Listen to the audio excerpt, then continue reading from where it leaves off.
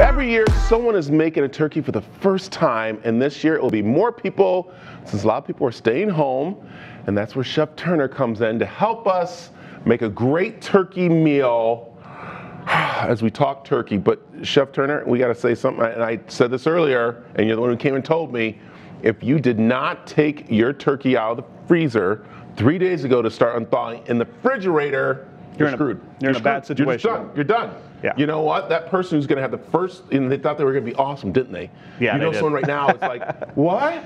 Oh my God! And they had everything all planned out. They had everything doing, and the reason why it's not good to take it out now and thaw because people leave it out, which it's not healthy, is it? Right. You don't want to leave any uh, poultry or anything like that in the danger zone. So the outside of the turkey will be in the danger zone before the inside thaws.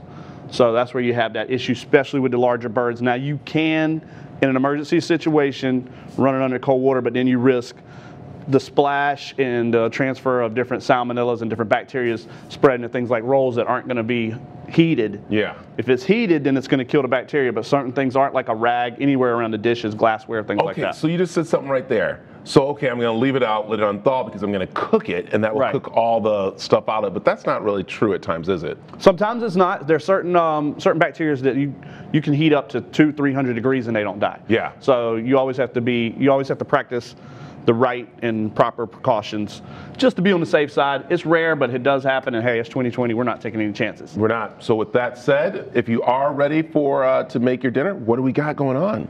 Well, we, this is a you know traditional Thanksgiving dinner. I went with the smaller breast. This is a, a get you in a, out of a bind because it thaws quicker, and uh, you know I feel like we're going for the smaller groups this year. Try to keep it under 10.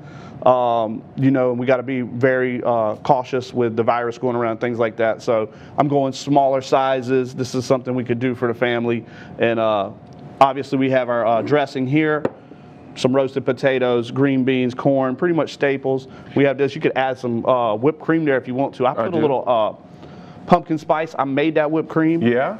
Go a little more than that, Brad. Go a little more than yeah, that? a little Can more I? than that. Let's get a little more than that. Yeah, there we go. There Can we I? go. Can I? This is A little bit more. There we go. All right. So we got a All little right. pecan pie here, and then Okay. just to do something a little different, a little um, pumpkin spice here. ooh, I like that. You don't have to be. It's nothing hard about it. You can buy it, purchase it. So, yeah, and then I make my own cranberry sauce. Let's talk about that. I am not a cranberry sauce. I, I will admit it right now. I avoid it.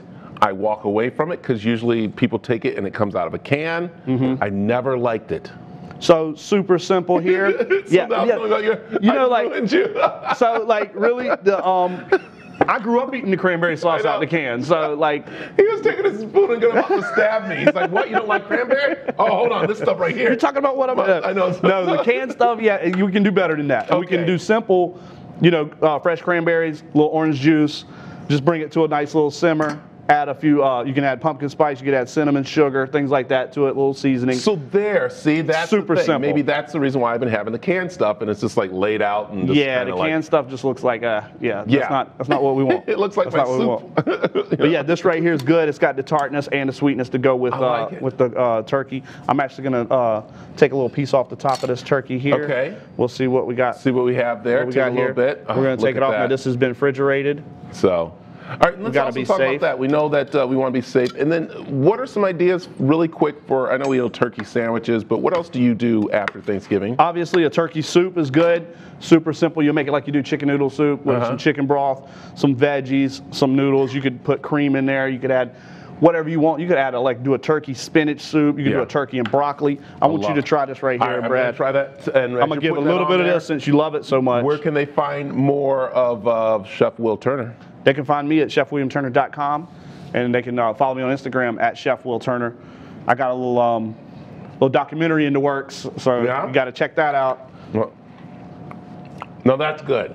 Is that good? Yeah. Okay. Because I taste a little bit of the the uh, citrus and everything. Mm-hmm. I like that. Cranberry. Thank you. Ah,